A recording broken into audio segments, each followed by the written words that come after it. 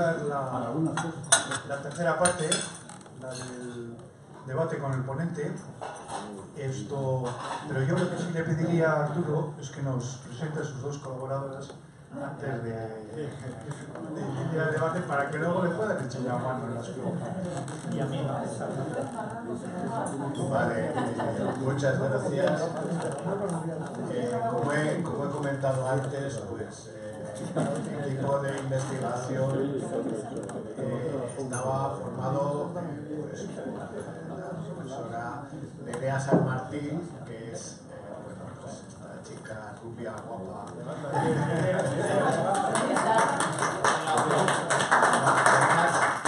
Además, ella en este momento es, es directora de, de, extensión cultural del campus de Vizcaya de la Universidad del País Vasco.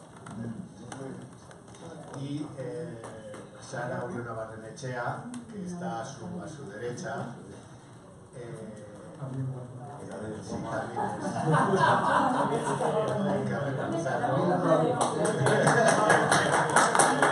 es, es, también, eh, tiene en este momento directora de formación continua también de la Universidad del País. Eso sí que es falso totalmente.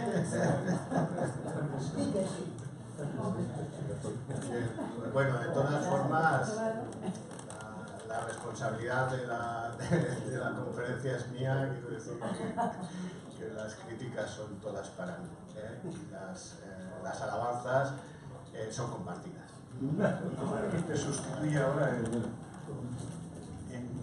en el decanato. Ah, bueno, pues está aquí, eh, está el, el profesor John Manutia. Estoy aquí acompañando a las ponentes. Yo soy acompañante. Muy bien, yo soy Bueno, pues eh, cuando queráis empezamos las preguntas y como ya sabéis, como siempre, pedid la palabra a la mesa y yo os iré dando, dando la palabra. Esto, si queréis para iniciar el tema, ya que animando. Cuando dices, yo que soy ingeniero no tengo muchas ideas. Esto de carácter sistémico, ¿qué es? Vale, vale, sí, sí, sí, sí. Es que a veces los, los economistas pues usamos palabras. Tenemos, bueno, todas las profesiones ¿no? tienen, su, tienen su lenguaje, su argot, pues un poco para, para protegernos, ¿no? Como los médicos, los, terroristas, etc. ¿no? Eh, carácter sistémico indica que los, eh, hay entidades o mercados, entidades, en los que los problemas que puede tener una entidad eh, se pueden transmitir a todo el sistema. Lo que he dicho, por ejemplo, de eh, entidades que son tan grandes que no pueden quebrar. El caso paradigmático es el caso de Man Brothers. Era una entidad eh, internacionalmente reconocida y que eh, nadie se imaginaba que pudiera quebrar. Cuando quebró Lehman Brothers, todo el mundo pensó, si ha quebrado Lehman, eh, Lehman Brothers, puede quebrar cualquier banco. Y eso fue la gran catástrofe. Bien, eh, ¿qué, eh, ¿cómo se puede, cómo se puede mmm, paliar el riesgo sistémico? Es decir, el riesgo de que los problemas de una entidad grande se transmitan a, todo el sistema. Pues eh, en el caso de, la banca, que es un poco el más relevante, pues con los fondos de garantía de, de depósitos. Para eso están.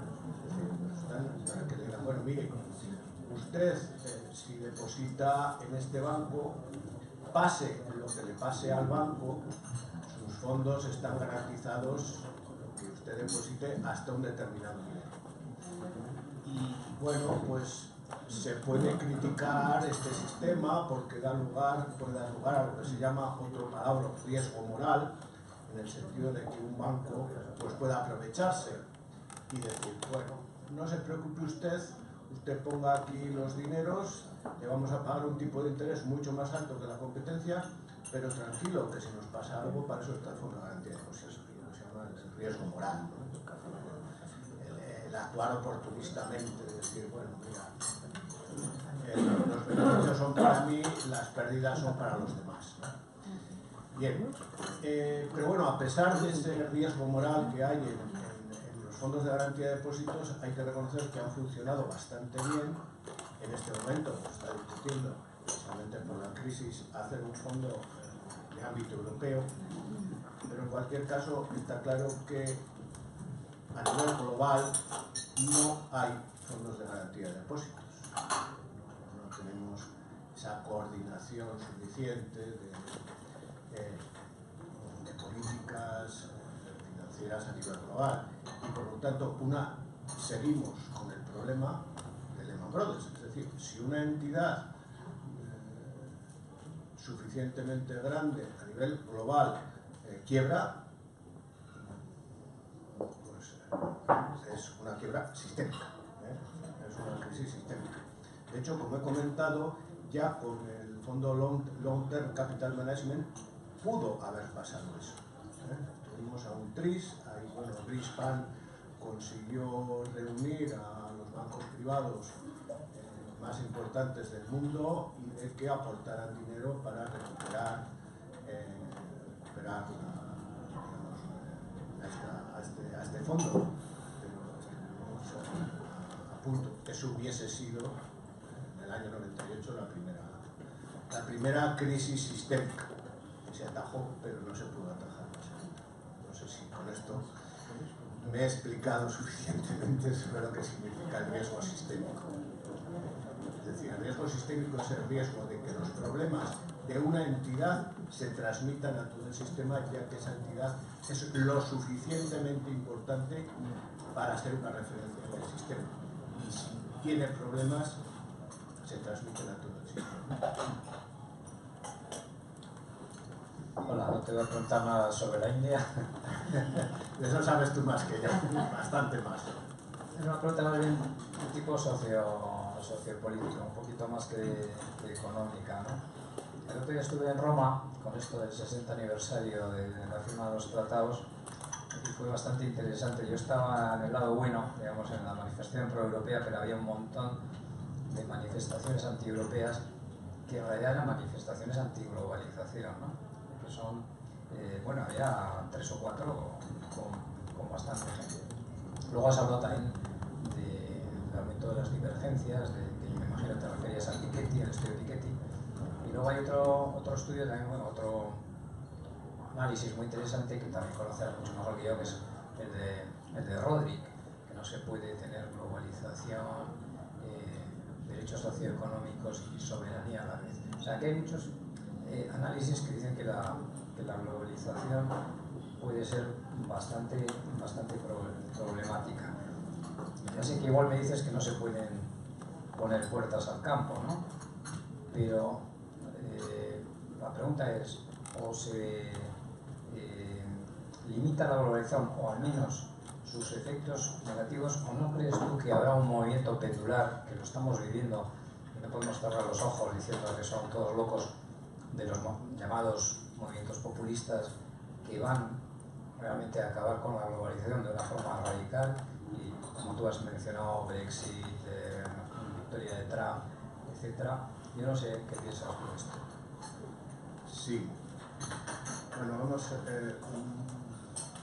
En primer lugar, yo, eh, yo creo que la globalización ha venido para quedarse y que por mucho que se intente no se puede parar. ¿eh? Eso es lo, primero. ¿Por qué? Pues porque eh, he destacado una característica muy importante de la globalización que es el desarrollo de las tecnologías de la información y la comunicación. Y esto no se puede parar. Vamos a ver, eh, yo creo que la primera muestra del poder de la globalización fue eh, el desmoronamiento de la Unión Soviética y la caída del muro de Berlín. ¿Y por qué fue? Pues por unas tecnologías de la información y la comunicación eh, mucho más elementales que lo que tenemos ahora, que es la televisión. Es decir, simplemente la gente de los países del este que captaba programas de televisión occidentales, pues se dio cuenta de que el mundo era diferente de lo que les decían sus políticos. Entonces, yo creo que la globalización no, no se puede parar. Eh, efectivamente, y esto está claro, la globalización ha perjudicado, pero fundamentalmente ha perjudicado a las, a las no sé si diría, antiguas clases medias de los países desarrollados. Eh, yo estaba comentando que si, que si hace 20 años eh, tomamos aleatoriamente a mil personas y medimos su índice de desigualdad, el índice de Gini, y ahora tomamos aleatoriamente otras mil personas del mundo y medimos ese índice de desigualdad, la desigualdad ha disminuido en el mundo. ¿Por qué? Porque esa muestra de mil personas, un grupo importante son chinos e indios. En la China y la India la, pobreza ha disminuido enormemente. Ahora bien, bueno, que conocéis el famoso eh, gráfico del elefante. Es decir, lo que ha pasado ha sido, el gráfico, bueno, que mide horizontalmente el, nivel de renta y verticalmente el nivel de crecimiento de la renta en los últimos años. Entonces, para las rentas más bajas, resulta que ha crecido su nivel de renta. Para las rentas altas, ha disminuido o ha crecido muy poco. Y para las rentas muy altas, ha vuelto. ¿eh? Ha crecido muchísimo. Es decir, la desigualdad eh, producto no solo de la globalización, sino como he dicho también del, desarrollo tecnológico, de la innovación tecnológica, eh, eh, se ha cebado fundamentalmente en todos los países, en todos los países Lo que pasa es que en los países, eh, digamos, emergentes, bueno, pues cuando, cuando está creciendo el pastel, pues bueno, aunque, aunque el pastel se distribuya, aunque el crecimiento se distribuya desigualmente, pues parece que todos, todos, todos aumentan su parte del pastel, si crecen. El problema en los países desarrollados es que el pastel se ha reducido y al mismo tiempo la desigualdad ha aumentado. Ese es para mí el, gran problema de, de este proceso y sobre todo de, la, última gran crisis o de las últimas gran crisis de la globalización. Yo creo que es lo que explica estos movimientos. ¿Qué, ¿Qué, es lo que creo yo? Pues que si la globalización no se puede parar, lo que hay que hacer, y eso estoy completamente de acuerdo contigo, es intentar eh, paliar eh, las consecuencias negativas e intentar aprovechar lo positivo. Para eso, pues lo ideal, yo he dicho, sería una gobernanza global. Eh, no tenemos una autoridad mundial. ¿Sería deseable? Yo creo que sí, Pero sí que entiendo que, sería deseable una coordinación de políticas eh, entre, los, eh, entre los principales países del mundo ¿Será eso posible? Pues tengo mis dudas, no, sé, pero, pero creo que es la salida y si no, pues vamos a tener, vamos a seguir teniendo, teniendo problemas. No sé cuándo, cuándo tardará esos esas desequilibrios en, producir la siguiente gran crisis. Espero que sea muy tarde, pero no soy excesivamente optimista al respecto. No sé si con eso respondido. Seguimos la conversación que teníamos. ¿eh? Voy a poco más de sintético. Bueno, yo creo que cuando se habla de globalización, esto es una aclaración, no es la pregunta, ¿eh? una yo creo que la humanidad ha tenido bastantes globalizaciones y desgraciadamente todas han acabado mal. La última acabó mal en el año 1914 estamos ahora celebrando el aniversario del fin de esa y del siguiente. Pero bueno, quiero decir que la globalización es un tema que no es suave, no es benigno. A lo largo de la historia ha hecho daños. Punto final. Esa es una observación. puede estar de acuerdo no, pero voy a la pregunta. Estabas hablando antes del tema de, la sistema, de, la, de los sistemas es decir, los sistemas sistemáticos, o la sistemática bancaria, como queramos llamarlo. Yo creo que ahí hay, o yo estoy mal informado, que será lo más probable, una especie de desinformación general. Es decir, hablamos de la sistematización o de los que es un tema muy además de Roma. Riesgo sistémico, estás hablando. Sí, sí, los riesgos sistémicos, llamáis vosotros.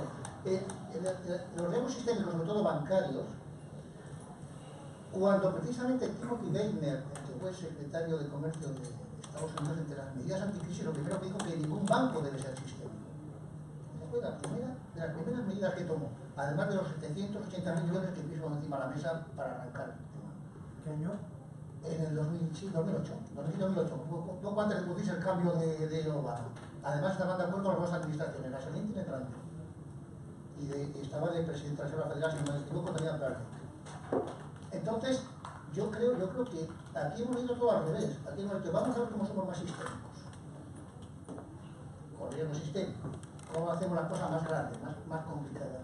¿Y no crees que esa es una salida de la crisis, como se dicen los técnicos, subóptima? Sí, bueno, yo, a ver, ojalá, ojalá no hubiese ningún banco sistémico, es decir, porque eso significaría que no habría riesgo sistémico, pero eso no es así, eso no es así. No es así aquí, ¿eh? Ni aquí ni en ningún sitio. Vete. Sí es, sí ¿eh? es cierto, es No, cierto, no pero, pero piensa, por ejemplo, ¿eh? piensa, por ejemplo, perdón, en, en el Deutsche Bank, o sea, mm, yo os, os- os- comento que, bueno, yo, eh, investigadores tenemos un, portal que se llama ResearchGate, ¿no? que es como una especie de LinkedIn, pero de investigación. Entonces ahí pues podemos poner nuestras publicaciones y semanalmente nos, nos dicen, nos dicen pues que cuántas personas han leído, cuántas citas hemos tenido en nuestras publicaciones y bueno pues eh, pues eso no sé hará, como un año así eh, vi que, que, bueno pues que, habían subido enormemente las, las lecturas de, mis publicaciones y, digo, caray, y claro, también te dice qué publicaciones son las que se han leído más. Y me fijé en que todas las de máxima lectura se referían a crisis, a crisis económicas y financieras. Dije, caray, digo, ¿qué está pasando? no me di cuenta.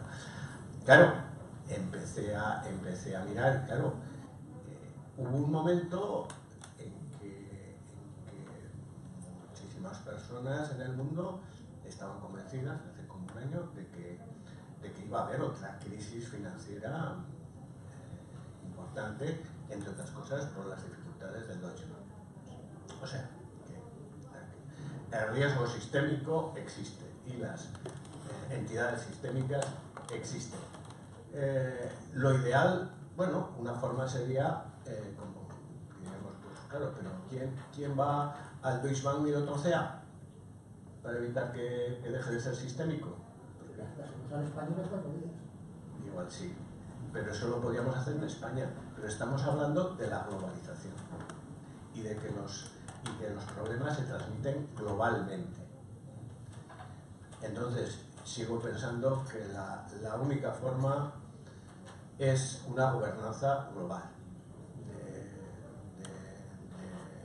de- acuerdo entre países, de regulación conjunta entre países, porque un gobierno global, de momento no, no lo veo, no lo veo nada, nada probable, pero ya digo, sería una forma, ¿eh? pero la forma sería eh, coger a esas entidades que son demasiado grandes para quebrar, que son las que son sistémicas, las que tienen riesgo sistémico, y digamos trocearlas, a ver quién lo hace. Y, por ejemplo, eh, las recomendaciones, de recomendaciones de Basilea no afectan. Bueno, a ver, las recomendaciones de Basilea están bien, pero no han, es decir, eh, no han, no han, no han, eh, no han corregido las crisis. Eh, eh, hay quien dice que la última gran crisis se debió en parte a Basilea II, porque Basilea II era la que eh, permitió a las entidades financieras, digamos, desarrollar sus propios sistemas de análisis de riesgos y que esas, si demostraban que tenían sus propios sistemas de análisis de riesgos, no estaban sujetas a los coeficientes obligatorios, etc. Eh, ¿Qué ha pasado? Pues que esos sistemas de análisis de riesgos se basaban fundamentalmente en, en el value at risk, en el VAR. Claro, ¿qué es lo que pasa con el VAR? Pues que los cálculos de riesgo dependen mucho de un supuesto, primero, de un supuesto sobre la distribución de probabilidades, que normalmente se supone que es una gaussiana.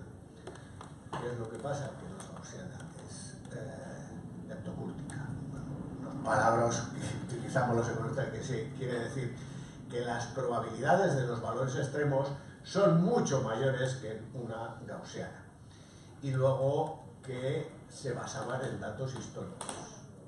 Claro, entonces es lo de siempre. Siempre se dice, bueno, es que hacer previsiones basándote en el pasado es como eh, conducir fijándote solo en el espejo retrovisor.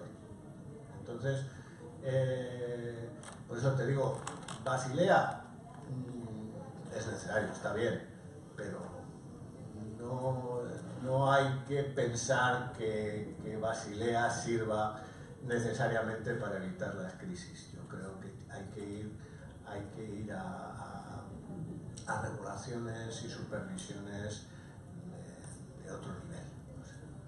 Me, parece, lo cual no quiere decir que no me parezca bien, ¿eh? que, existan, que exista la, la regulación de Basilea, ahora tenemos ya Basilea 3, etc. Yo creo que es, eh, que es, eh, que es importante, pero la, his- la historia, la experiencia nos dice que que no necesariamente eh, previene las crisis. Arturo, a ver, eh, tu, tu exposición ha sido globalización e incertidumbre. Déjame que te cambie el orden de las palabras. Incertidumbre de la globalización. Es decir, y, y además quiero recalcar un poco lo que ha empezado el- eh, la primera persona que te ha hecho una pregunta. Quiero incidir más en esto y además quiero que te mojes un poquito más. Estoy absolutamente de acuerdo con lo que has dicho de la globalización que se inició con el tema de las TIC, pero siendo co- conscientes que el- la segunda economía mundial en China, las TIC están capadas. El acceso a Internet en China está muy capado. Eh, los que dejamos un poquito allí ves que entrar en Google tiene sus problemas, que utilizar el email allí tiene sus problemas, con lo cual, eh, cuidado, que vamos a poner las cosas en su, en su justo medida. ¿A dónde voy? Digo, bueno, estoy de acuerdo con la globalización, eh, pero quiero que te mojes en el futuro. Es decir, la primera potencia mundial ya ha dicho que se niega al acuerdo del BPI, porque lo hemos comparado aquí, pero al acuerdo hacia el Pacífico, que no. Eh, quiere poner puertas al campo.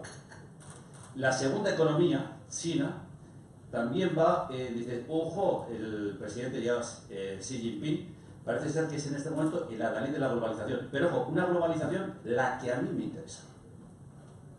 Cuando vas a China, observas que esto es así. Con lo cual, llega un momento que dices, ¿qué globalización es? Y ahí es donde quiero que te. Porque tú has dicho, el futuro de la globalización está en la gobernanza eh, global. Olvidémonos de los políticos. Vayamos, eh, lo que se está especulando, lo, de lo que se está hablando es que esa gobernanza global está haciendo esto en los estados, por ejemplo, hago alguien que es mejor esto, el poder en mil estados que un poder en cuatro estados, pero lo que se está hablando es que el futuro, digamos, el control de la economía va a estar reducida a unas pocas empresas. Con lo cual, ¿cuál es esa- ese futuro de la globalización? Incluso, y como Albino, si me voy al tercer núcleo, al tercer eje, si quieres, de la economía, Europa, cuando nos ha saltado, y tú lo has apuntado allí, cuando nos ha saltado la crisis, aquí cada uno en la deuda externa, eh, nuestras primas de riesgos eran la que eran, y aquí cada uno defendió sus intereses. Y en este momento con el Brexit demostramos que defendemos nuestros- intereses. Luego, ¿qué globalización? ¿Cuál es ese futuro? Bueno, a A ver, eh, me pides, me pides previsiones, ¿Qué te mojas? Me pides previsiones y he dicho que el mundo es imprevisible. Luego entonces te puedo decir perfectamente que, eh, que yo no voy a hacer previsiones. Eh, bueno, eh, bueno, voy a intentar mojarme en la, en la medida de lo que pueda. A ver, mm,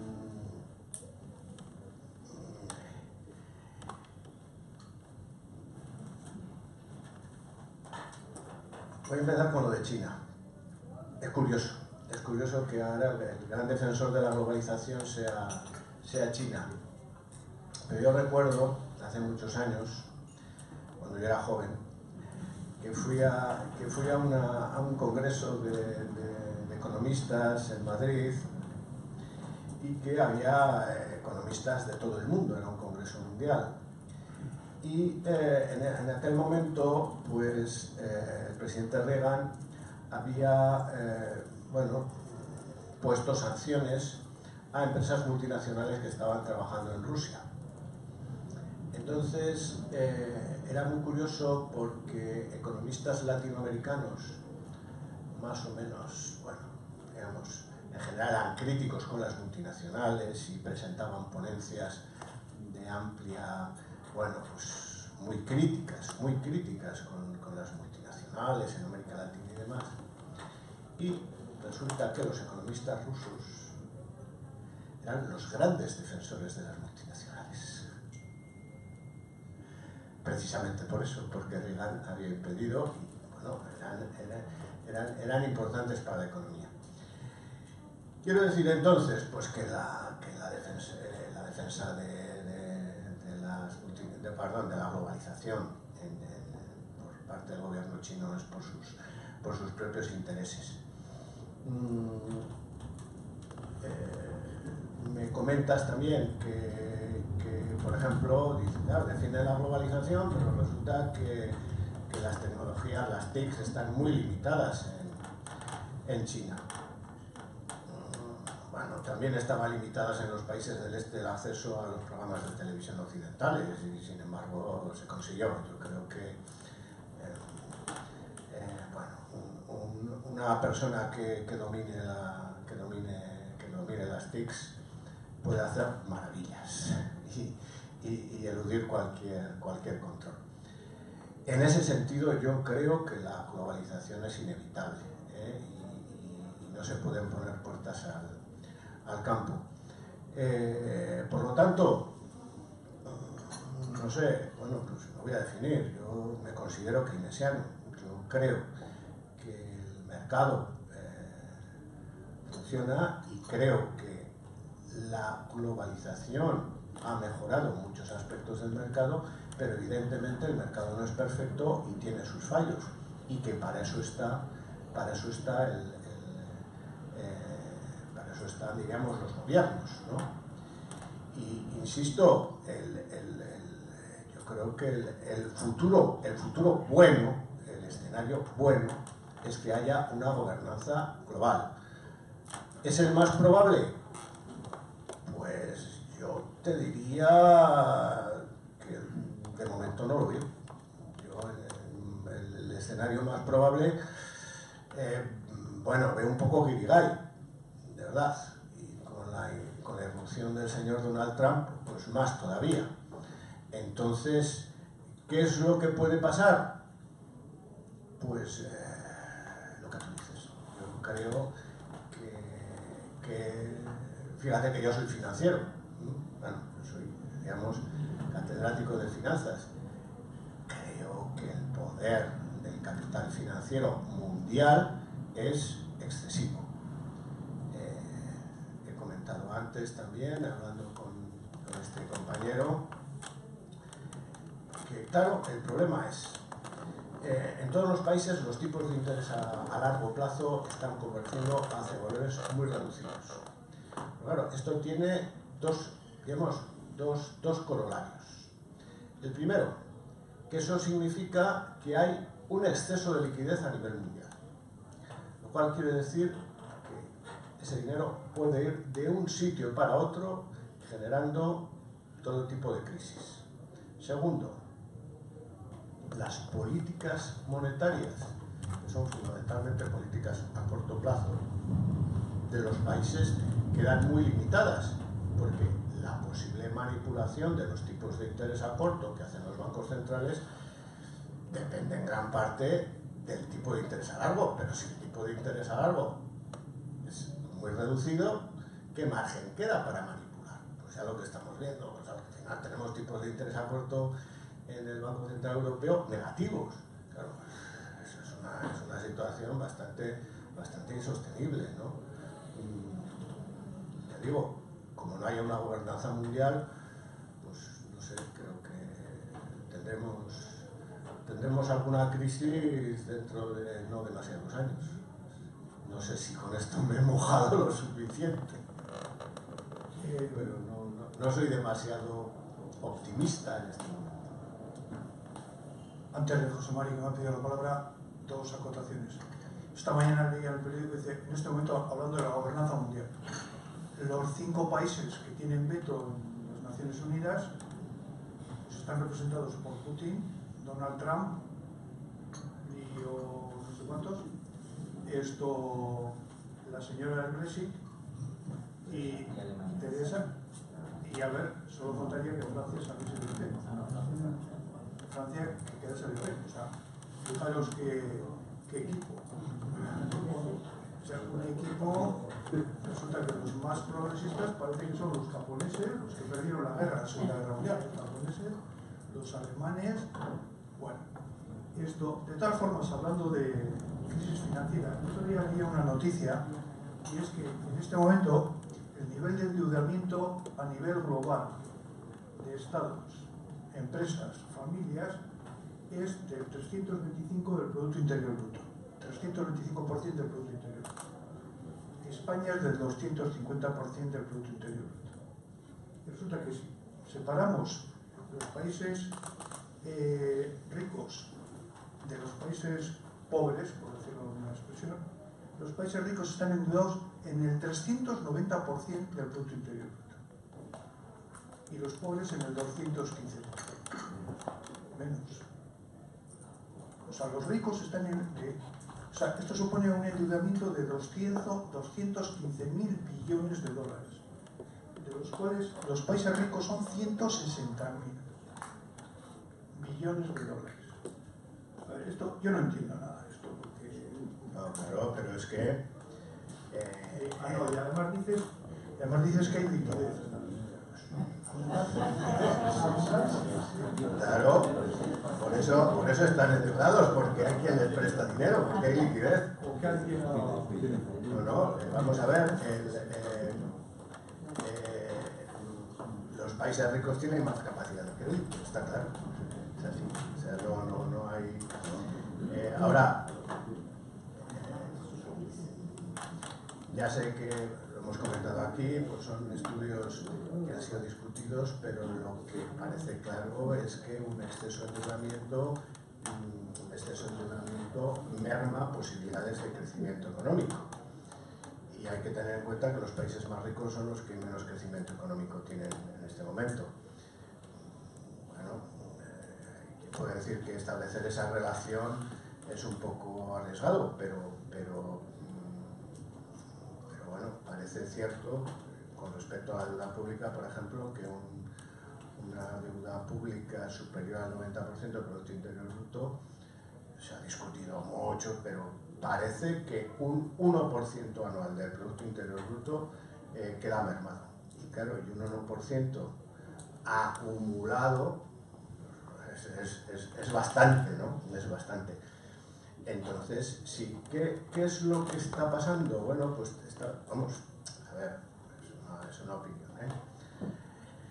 Eh, a ver, eh, los, es curioso porque a veces se dice, no, es que el ultraliberalismo lo que dice es que hay que reducir el papel del Estado. Bueno, pues tanto los gobiernos ultraliberales como los, todos ellos están incrementando el papel del Estado. porque cada vez hay más demandas de la, de la ciudadanía. Y, bueno, como no pueden cubrirlo con impuestos, porque subir impuestos pues, no, es, no es precisamente muy popular, aparte de que puede tener otro tipo de repercusiones negativas, pues, cubriendo con endeudamiento, pues no sé, en, España pues seguimos teniendo déficits y déficit presupuestario significa incremento del endeudamiento, claro, porque si, si, si se gasta más de lo que se ingresa, es, es como una economía, si en una, si una familia se gasta más de lo que se ingresa, pues es que te tienes que endeudar, pues esto, esto igual, ¿no? Entonces, eh, eso es uno de los grandes eh, problemas y una de las, para mí, una de las bases también de, de lo que puede pasar con respecto a la próxima gran crisis. Pues ya sé que estoy muy pesimista, pero Eh, bueno, felicitaros por el trabajo a todos, a, a Nerea y Sara y a ti y al club. Y hay una cosa que sí quería comentar, porque llevo tiempo dándole, dándole vueltas a lo, que, a lo que decías. Voy a hablar en plural para que nadie se sienta ofendido. Los economistas no poquito a lo que, a lo que no, no aprendemos. Estamos eh, como obsesionados por intentar Estamos como obsesionados por intentar hacer ver que la ciencia económica es una ciencia exacta. Yo en la tesis mía que conocéis todos sobre personas intangibles, no es que me convenza eh, lo siguiente, cada vez, cada año que va pasando, estoy cada vez más convencido. La economía, desde el momento que intervienen las personas, eh, es algo no ya imprevisible, imprevisible, sí, bueno, previsible, sino es que es absurdo, absurdo. Yo intentaba razonar de manera de ciencia exacta la economía hace ya años que me desvinculo de eso. Esos pedidos económicos que hemos estudiado todos, de hecho quiero hablar en plural para que nadie se sienta, se sienta ofendido, que luego no se cumplen jamás, jamás. Bueno, eh, bajan los tipos, sube la bolsa, sube la bolsa, no sé qué. Eh, eh, bueno, yo personalmente seis años estudiando como un loco toda la matemática financiera y se ponen los tipos negativos y la hemos cargado. Todas las fórmulas desde el cual decir a la mierda. Luego, intentar hacer una ciencia exacta en algo donde intervienen las personas. ¿Y qué es que intervengan las personas? Algo tan sencillo como que mañana absolutamente ninguno de los que estamos aquí somos capaces de prever lo que va a pasar con lo que está ocurriendo en Estados Unidos. El Trump mañana se tira un pedo, con todo respeto al mundo, y se arma un pollo. Y lo sabéis todos. Y las bolsas caen un 15, o puede caer el petróleo, o puede caer.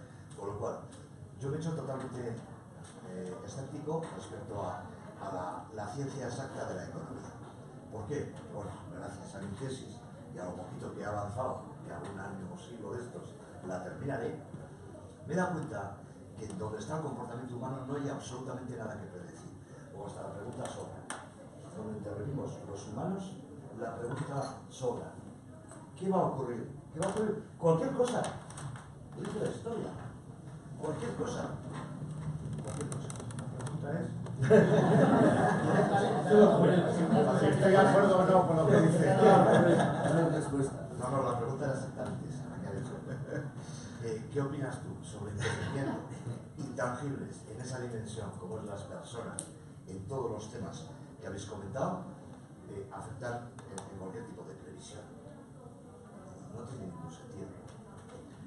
Sí, bueno, eh, yo creo que siempre, como decía, eh, prever es difícil, sobre todo si se trata del futuro, ¿no? Y, en un mundo globalizado, pues todavía más, ¿no? A ver, eh, claro, tú has comentado muchas cosas. Vamos a ver, la, eh, matiza- la matematización de la ciencia económica. Yo creo, eh, creo que las matemáticas son muy interesantes porque dan mucho rigor y entonces ayudan a eh, comprender mejor los problemas.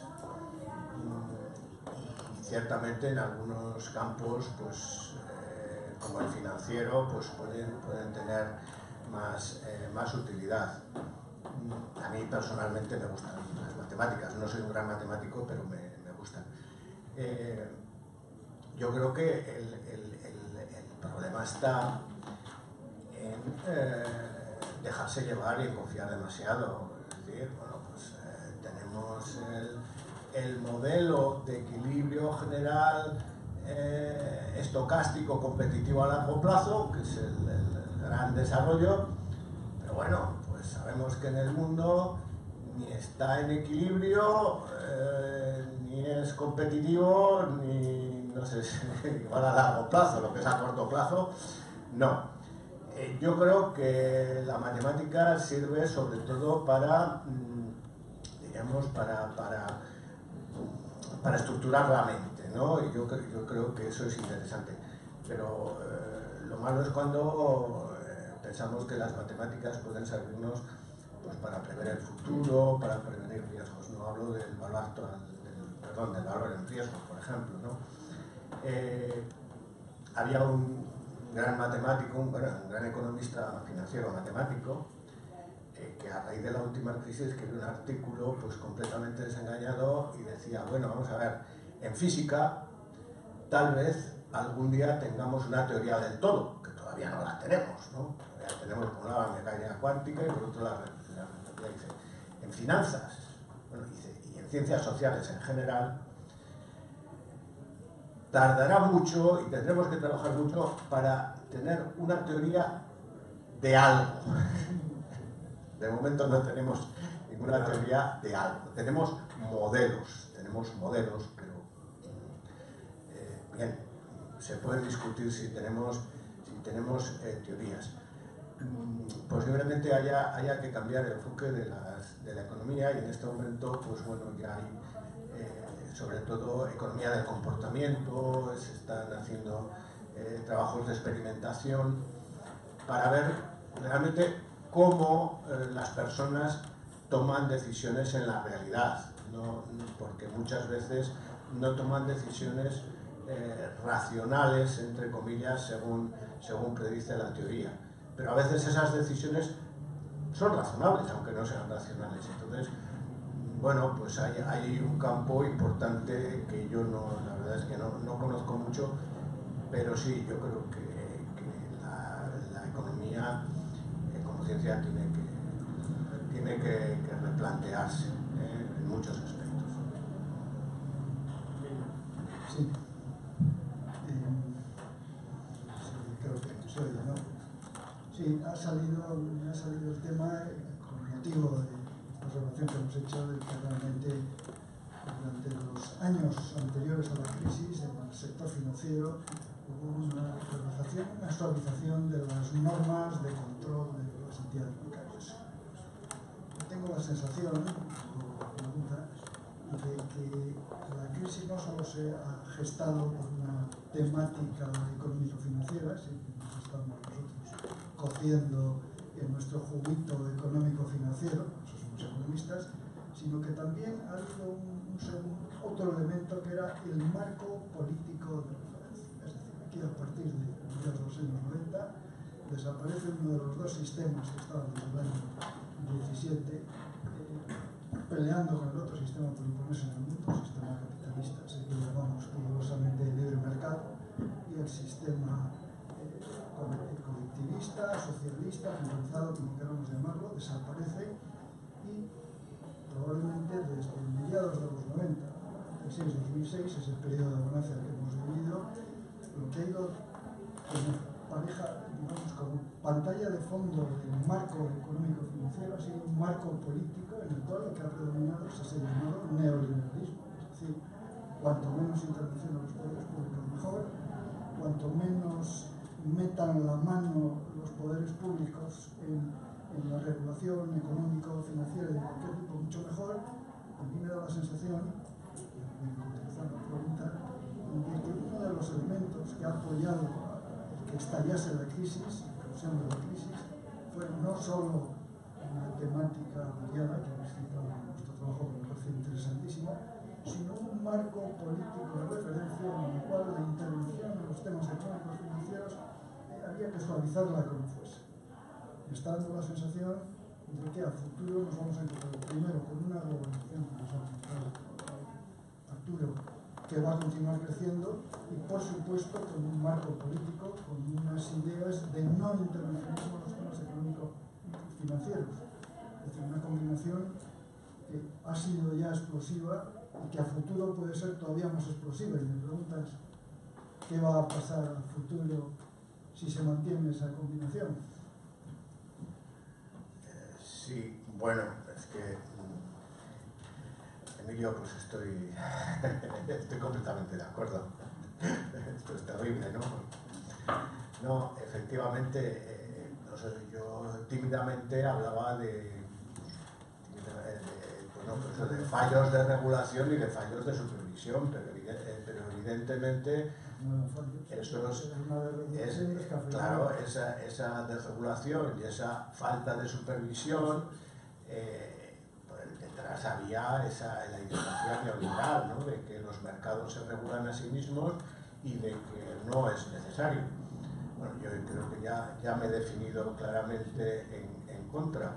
Y, y, yo creo que, que la globalización efectivamente ha sido una globalización capitalista hablar así, si se quiere, en, esta terminología. Es decir, es así una globalización financiera con un papel muy importante y yo personalmente creo que excesivo de, de, las finanzas y de los mercados financieros. Eh, creo que ha sido un problema porque mm, yo creo que dentro del capitalismo hay cosas muy interesantes, pero eh, por supuesto, un sistema financiero es necesario, pero yo creo que la, esperanza, y bueno, ya voy a hacer un la esperanza está evidentemente en, en, la juventud eh, y en las, en las, jóvenes empresas innovadoras que con, que con poco dinero crean muchísimo valor. ¿no? Eh, pero si, si seguimos eh, con un predominio y especialmente de los mercados financieros sin una, como he dicho antes, una, una gobernanza global, pues eh, creo que estamos poniendo las bases de, la próxima crisis. Eh, antes de darle la palabra a John, eh, yo discrepo un poco del planteamiento que estáis haciendo. Eh, cogiendo una información que tengo aquí sobre los países más grandes del mundo en población, si cogemos en población, el primero es Facebook, con 1.400 millones de personas activas en Facebook. El segundo es China, con 1.360, tercero la India, con 1.240, y el cuarto es Twitter, con 646 millones de personas en esto. ¿eh? O sea, lo cual nos plantea la crisis del concepto de Estado y de, y de la esta nueva variable de la introducción de las, de las, de las redes sociales como elemento de opinión y de, conocimiento. Porque el tema de, del liberalismo hay un cambio de valores que se plantea. Es decir, lo importante es consumir, lo importante es endeudarte, lo importante es que a su vez está propiciado por la ruptura en Estados Unidos del concepto de la banca comercial y la banca de inversiones, que eso lo hizo Clinton además. ¿no? O sea, es decir, que en esto de la globalización empiezan a aparecer otras variables distintas de las que habitualmente venimos trabajando para analizar el problema, según mi opinión.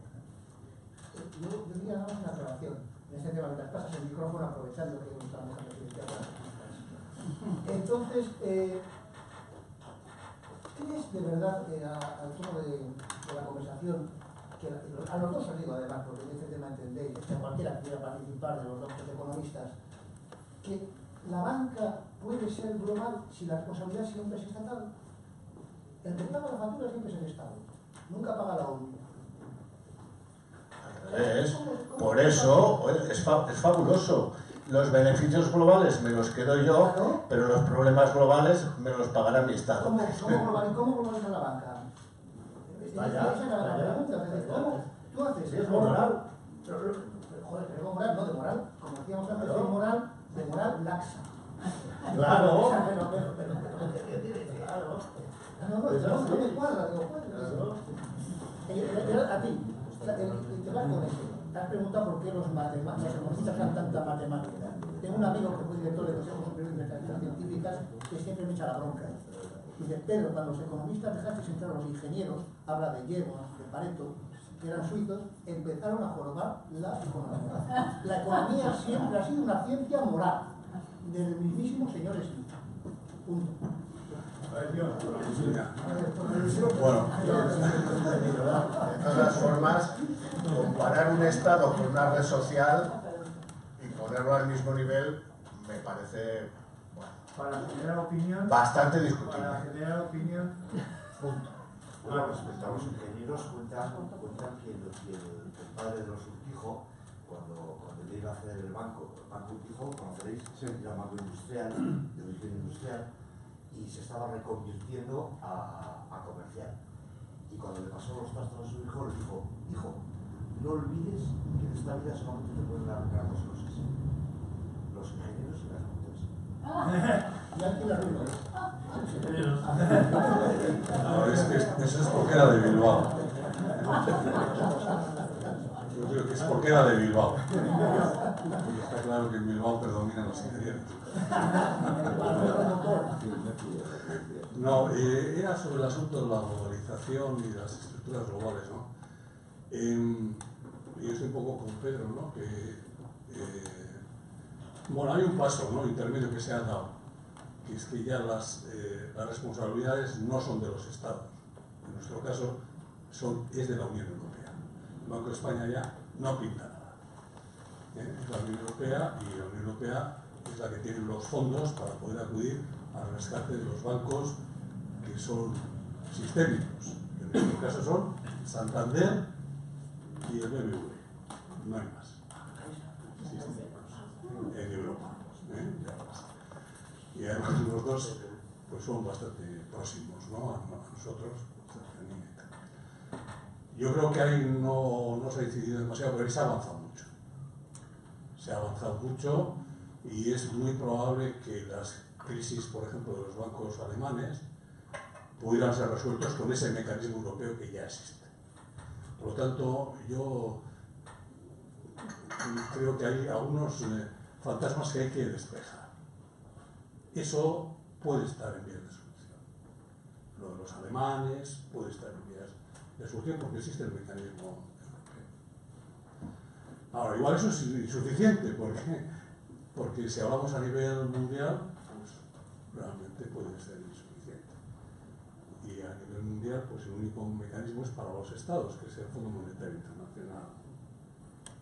Que mal o bien ha funcionado durante estos últimos 60 años, porque se han resuelto todos los problemas de quiebra de los estados en general. No ha habido ninguna catástrofe por ningún estado que haya entrado en quiebra en los últimos 60 años. De una manera u otra se han resuelto. Y en último caso, pues tenemos el de Grecia y el de España que estuvo a punto, ¿no? Y bueno, yo creo que eso también, hay que ver también la parte positiva de ciertos mecanismos que no son suficientes, pero han jugado un papel y han podido resolver ciertas cuestiones. Y hay que tener un, un poco de optimismo, a pesar de los economistas, que viven de la- del susto y de las crisis. ¿no? No, eh, efectivamente hemos estado hablando de la globalización. Ciertamente yo creo que Europa en ese aspecto es un, es un cierto refugio. ¿eh?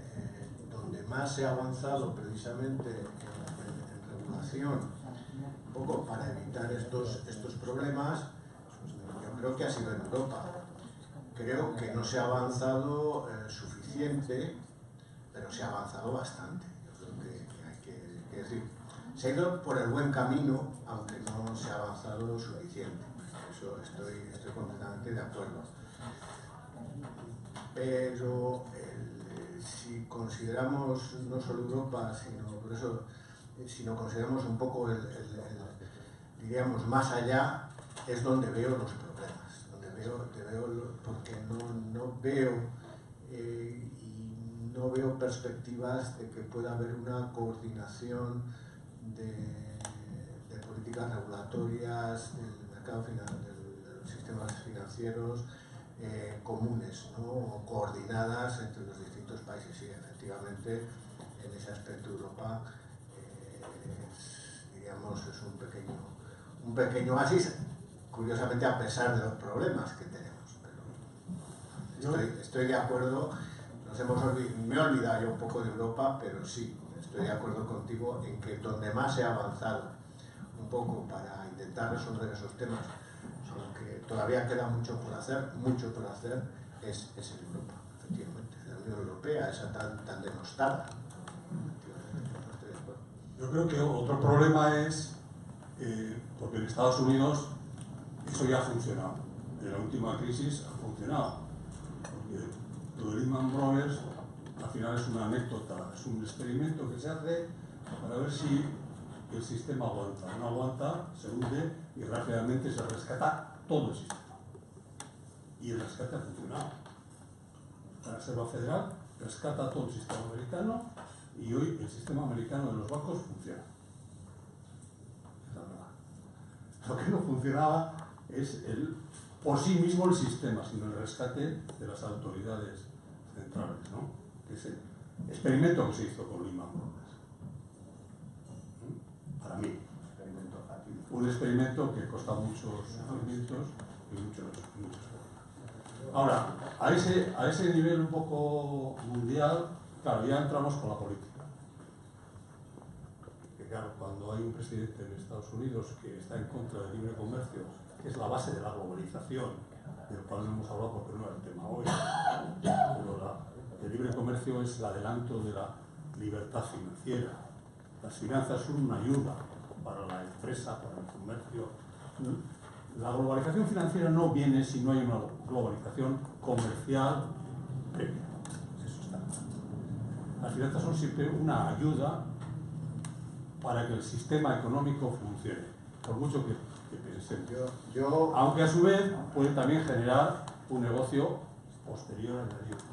Entonces, para mí creo que es muy grave esta vuelta un poco a eliminar los acuerdos comerciales, a generar el, el gran mercado único mundial, que era el camino por el cual se, se llevó. Esto sí puede ser un asunto problemático y puede retrasar mucho la, la globalización y puede retrasar mucho la globalización financiera de las estructuras financieras. No sé si con esto ver. creo que igual una duda antes, porque tú no eres de la cosa financiera. No, sí. No, no, precisamente porque lo soy, creo que puedo ser crítico. Yo, eh, lo que tú dices es lo que debería de ser, que efectivamente que, la- que la- las finanzas fuesen un apoyo a la globalización comercial. Y lo que, eh, lo que se ha visto es que la globalización comercial reduce la desigualdad dentro de los países, pero la globalización financiera la aumenta. Yo creo que, que la globalización financiera, como he dicho, se ha hiperdesarrollado eh, que eso es una fuente importante de, eso es una fuente importante de problemas. Y bueno, algunas señales que da el, señor Trump de desregulación financiera me, dan mucho miedo.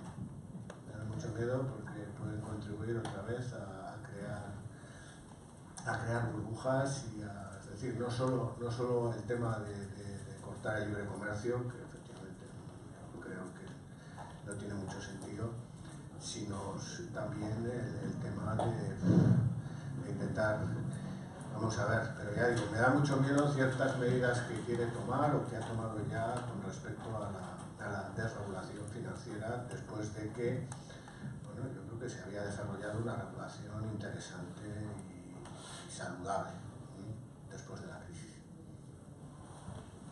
Bien, yo creo que hemos cumplido, que Arturo nos ha conseguido cumplir el objetivo de incertidumbre globalizada a tope. Yo creo que vamos todos con la impresión de que, estamos globalizados y llenos de incertidumbre. Y, yo os pediría un aplauso para él.